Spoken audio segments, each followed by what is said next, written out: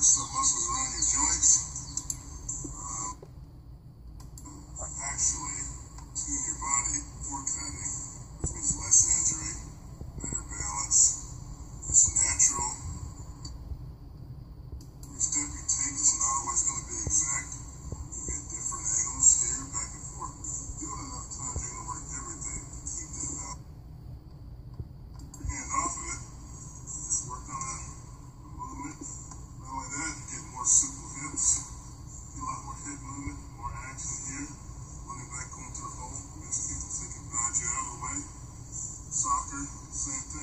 basketball crossover step.